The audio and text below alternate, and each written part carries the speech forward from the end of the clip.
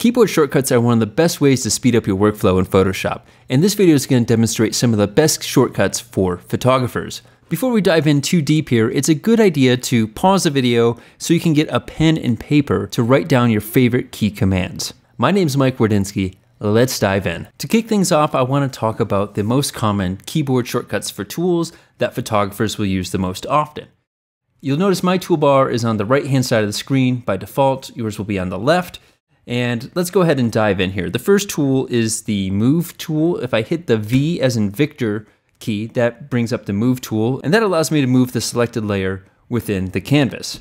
One way to remember this shortcut is that move has a pretty strong V sound in it, move, so that can help you remember V for move. Next we have the lasso tool. This is an easy one, L for lasso. That allows us to make a selection. You'll use this a lot if you get into advanced Photoshop editing, so highly recommend remembering the lasso tool. Moving down the line, we have W for quick selection tool. Now this one doesn't make much sense, W and quick selection, but if you look at the quick selection tool, nested underneath it is wand. So W for wand, and that's why W is the shortcut here, because the two tools are nested together. And so W is the keyboard shortcut for every single tool underneath the sub toolbar. So if I were to click Magic Wand tool and then switch over to my Move tool by hitting V and then hit W again, and you can see the wand tool is what gets selected. If I were to change this back to quick selection tool, go back up to, let's do lasso this time, L for lasso, and then back to W for wand, it takes us to the quick selection tool. I hope that makes sense.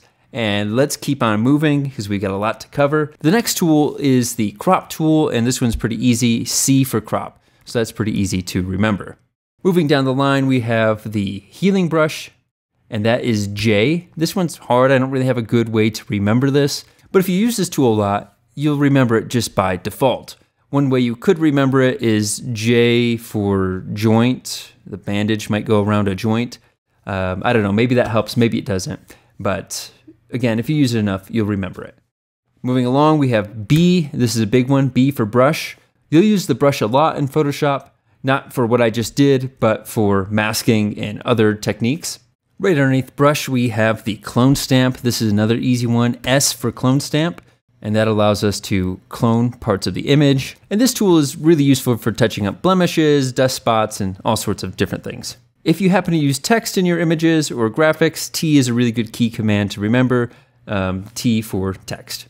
Moving along, we have Z for zoom. If I hit the Z key, that pulls up my magnifying glass. I can drag the mouse in and out to the left and right, and that allows me to zoom in and out of the image. And while we're on the topic of zooming, here's another great key command. This one has a modifier key, Command Zero or Control Zero on a PC that fits the canvas to your screen. So if I were to zoom out here and then command zero, control zero on a PC, we get to our, our full screen here. And here's another quick little tip on zooming. If I zoom in here and then hold the space bar, my cursor turns to the hand and I can just drag with the mouse around my image. To get back to fitting to the screen, Command or Control Zero, and there we go. One last set of zoom shortcuts that are really useful are Command plus and Command minus. That'd be Control minus and Control plus on a PC. That allows you to zoom in and out of the image really quickly. A quick tip that I forgot to mention is that anytime there are sub tools such as this, if you hold shift, it will cycle through each tool. So let me demonstrate that here. So if I hold shift and hit the J key for brush, you'll see that the tools automatically cycle through. We've already talked about the brush tool, but I'd like to talk about a few more shortcuts that are related to the brush tool. So again, B is our shortcut for the brush. And let's talk about brush size. The left bracket key shrinks the brush, the right bracket key increases the brush size. Next we have the X key, which will toggle between the foreground color and the background color. So if I hit X, you see it switches to black. If I hit X again, it switches to the foreground, which is currently set to white. You can change these simply by clicking and dragging in this screen, and there we go. And lastly, keys 1 through 0 set the opacity. 1 is 10%, 5 is 50%, and 9 is 90%, 0 is 100. Okay, now that I've made a mess of this image, let's continue. Moving along, let's talk about some common masking and selection shortcuts. I'll go ahead and choose the quick selection tool with the W key. I'm to select my sky here, nice easy selection. And now I can invert the selection by holding Shift Command I.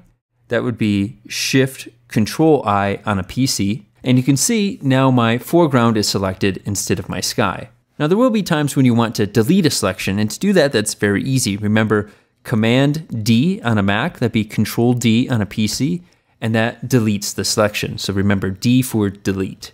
There will also be times where you might want to bring back a selection that you just had. Maybe you accidentally deleted it, or you need to use it again. So the keyboard shortcut for that is Shift Command D.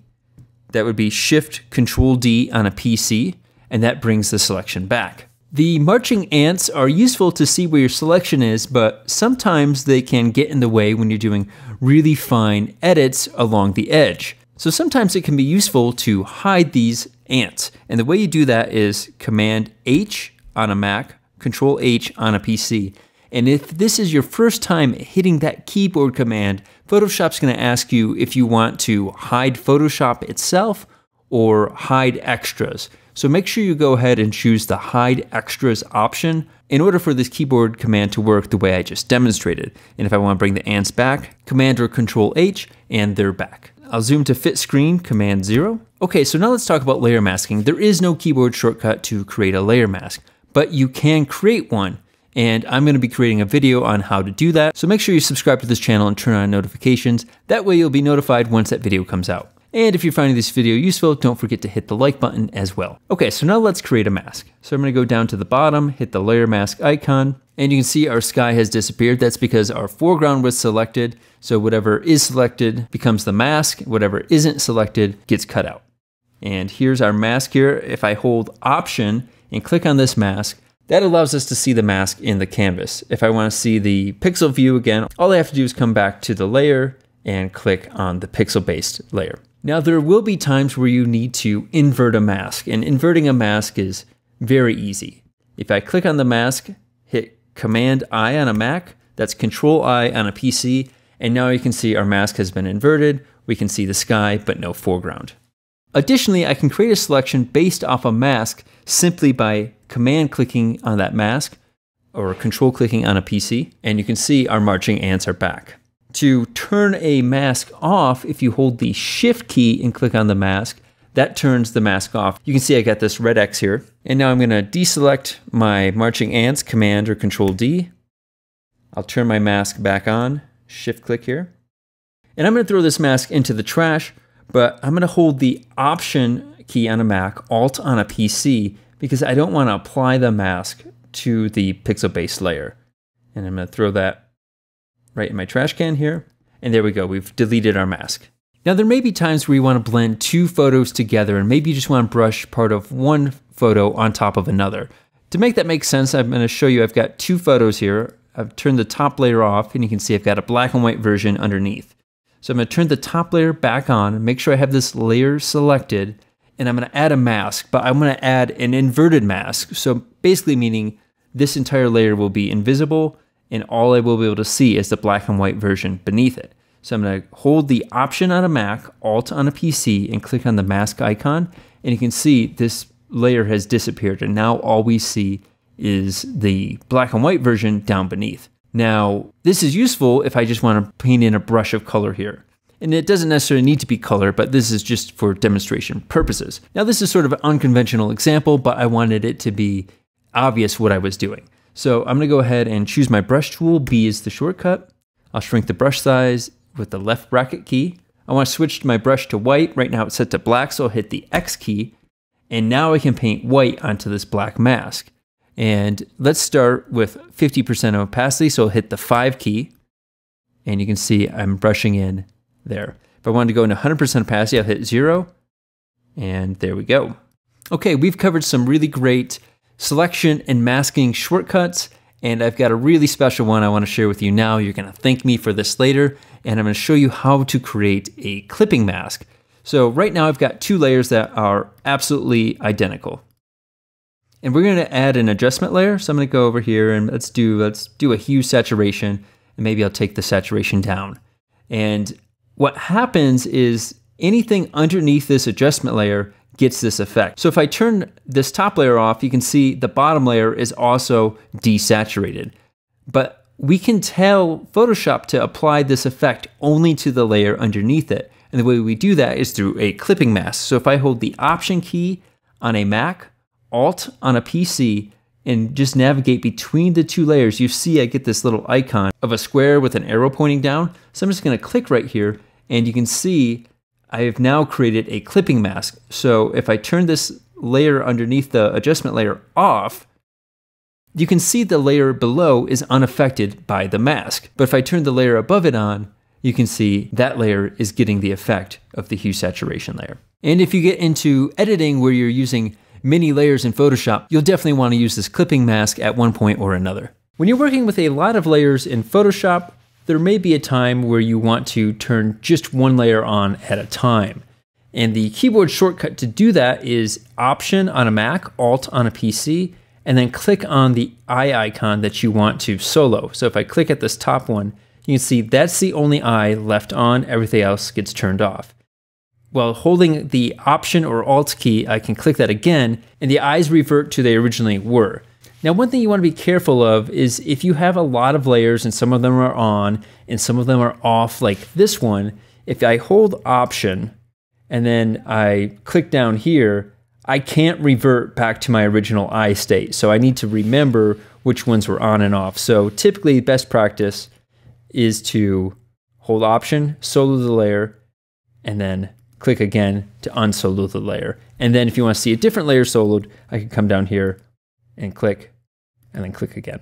Now I'd like to talk about some system-wide key commands that you should remember. Command or Control A is select all. Command or Control C is copy. Command or Control V as in Victor is paste. And Command or Control Z is undo. We've covered a lot in this video, but don't worry, I've only got two more really useful key commands to show you. But before we get there, don't forget to head over to naturemike.com for some great in-field workshops, private post-processing lessons, and tutorials. All right, so looking here in our layers panel, we have a lot of layers. And there may be a time where you want to flatten all of these. So we're gonna select our first layer, and then I'll shift click on the last layer, and then I'm gonna hit Command E. And that's gonna flatten everything into one single layer. Now this is destructive, so don't use this unless you really know that you don't need those other layers. Now I'm going to undo that, Command Z, and now I'm going to show you a non-destructive way to blend all these layers together while still retaining each individual layer. So we're going to select our top layer again, and now we're going to hold Command Option Shift E. And you can see that created a stamp layer above everything else while still leaving all the other layers beneath intact. And if you're a PC user, it's going to be Command Option Shift E.